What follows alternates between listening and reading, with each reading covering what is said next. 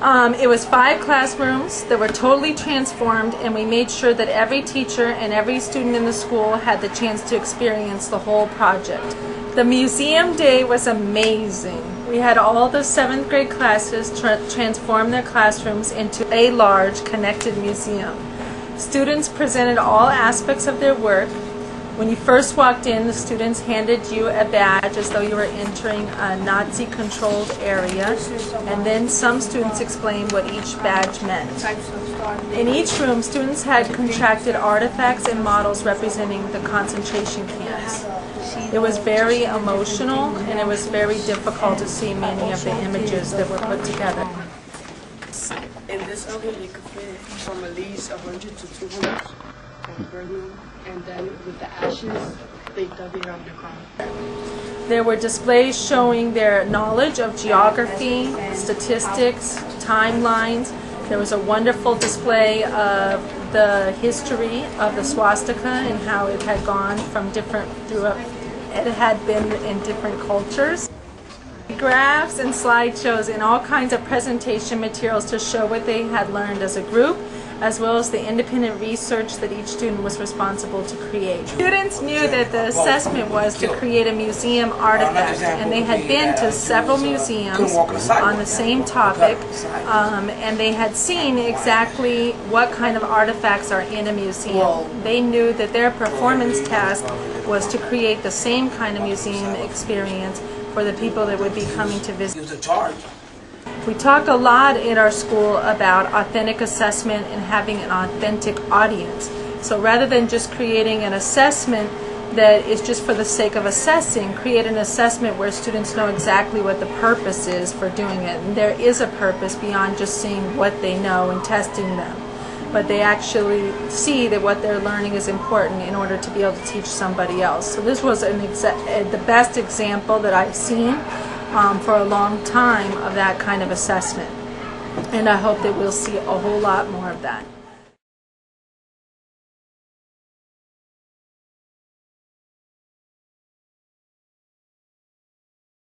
Maus is a memoir on two fronts. On the first, it's the story of a concentration camp survivor from World War II. On the second front, it's a memoir of the author, Art Spiegelman, um, who wrote and illustrated Maus, and his coming to know his father and um, maturing in that way. Um, the story connected to our students on many levels. Um, one, obviously, being that everyone has heard the older generation in their household um, sort of talking about the past. So everybody could relate to Art as he told the story of his father and, and some of his frustrations and some of the confusing points that he had. The graphic novel format really helped to spark the students' imaginations um, about the historical context and made something that was very difficult to understand, um, the Holocaust, um, made it real and um, on a very personal level. Many of our ESL students also found it much easier to read um, because there were so many parts of the story that were supported by these beautiful illustrations that Art Spiegelman drew. Because of this sort of comic book format, our students couldn't wait to read each chapter of Maus, and even through their enthusiasm, um, sparked our study of Maus Volume 2, which had not really been intended as part of this unit. When we started this unit, we had two essential questions in mind. Um, how can the study of literature help us prevent making the mistakes that happened in the past? And how do the powerful experiences of our lives affect the way that we express ourselves? Um, these are pretty complicated questions that students were ultimately able to answer um, because they had studied Maus um, so closely. When students uh, were ready to start studying the Holocaust, the teachers really wanted to make sure they understood the true scope of this moment in history. And the terrible events that took place during World War II could be best understood through literature. ELA teachers felt it was more important for them to understand the full picture of Nazi terror. And I believe that was exhibited not only by their collaboration with other ELA teachers, but also with the social studies teacher, the science teacher, the math teacher. um, class 701 702 we recently finished a book called the devil of arithmetic and um, the the numbers stand for um, different um, types um, things that people went through in their life or going through in their life and the first the first um the first part of it is a letter so, um, meaning what culture you're black white puerto rican dominican spanish basically like that and um people, not everybody, but some people they wrote what their numbers um, stand for because we had a chance to do it on our own. Stuff. And this was similar to the tattoos that people have? Yeah, it's similar to the tattoo that. The thing about this was that they, the Jews and the prisoners thought that they was cursed with the number because when they was captured. So the Jews decided to make it as a positive thing, like to represent themselves. that that's what you're saying.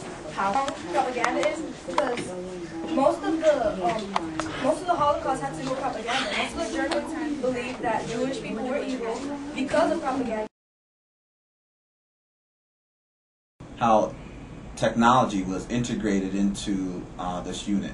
And as a result of this great collaboration, the entire school witnessed some of the most amazing learning that took place this year. And it's, and it's a true tribute to our teachers and their dedication and our students for all their hard work and commitment during this, uh, this particular unit. And I, and I have to say, I'm extremely proud of our teachers and our students. a writing. They had to come up with the construction of an artifact, and they had to come up with a presentation. The lessons were tiered uh, so that we could have multiple points of access to the content by various learners. Uh, and then the activities themselves were tiered so that they included uh, readers theater. Kids played uh, various parts uh, or the construction of artifacts of various types. For uh, more visual learners, we had all kinds of activities that involved either the smartboard or the construction of PowerPoint presentations. We had a variety of processes that we used for the purposes of teaching the unit that went from small group processes to whole class to uh, fish bowls uh, to readers theaters to the actual uh, construction and installation of an exhibit.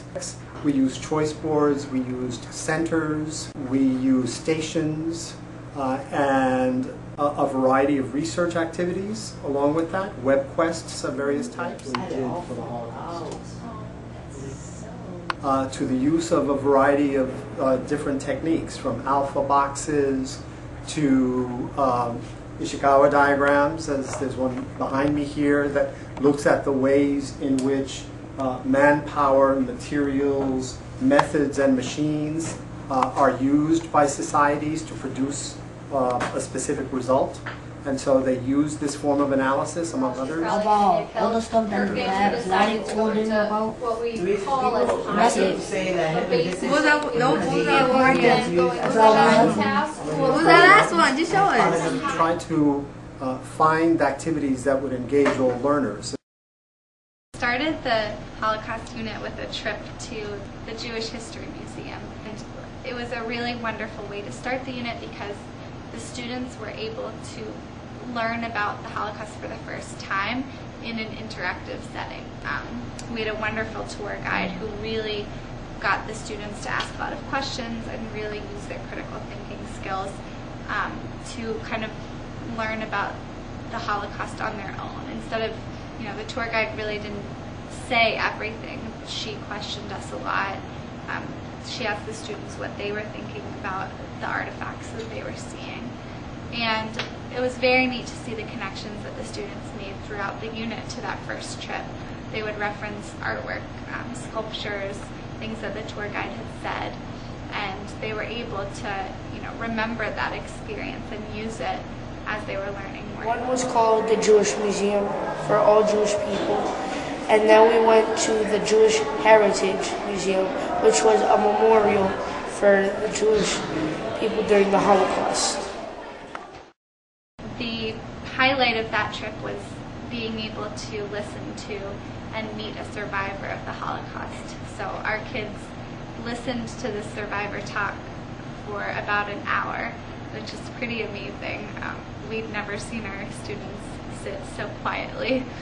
Uh, but they, you know, they came back, they told their friends about it, and they were just very much in awe and uh, of the survivor. And you know, you could tell how much respect they had for this person. At the end of the unit, we were able to organize a trip for our entire seventh grade to go to Washington, D.C.